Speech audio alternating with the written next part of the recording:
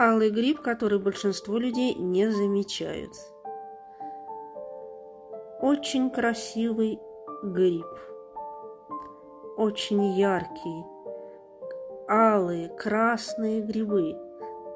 Наросты на деревьях. Это цитидея ивовые.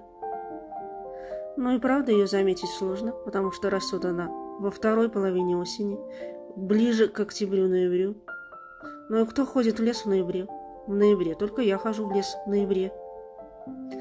Плодовые тела от 3 мм до сантиметра часто срастаются, такими больш... покрывая большие поверхности на веточках, сливаются. Вот. Очень красивый гриб. Ну, конечно, присмотреться нужно, чтобы заметить. Растет на, мертв... на мертвых веточках, на, на не толстых веточках, тополей ив. Не скажу, что очень часто. Не скажу, что очень часто. То есть нужно присматриваться.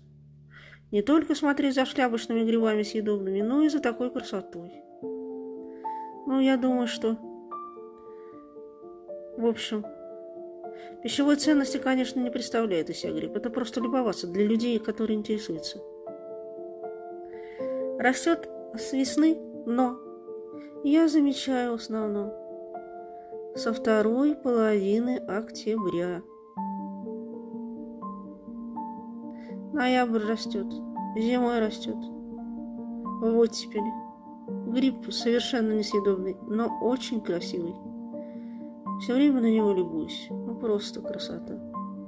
Очень красив. Это цитидия ивовая. А это что такое? Это не цитидия. Дай-ка посмотрю. Ага. Перевернула посмотреть. Это хондростериум пурпурный.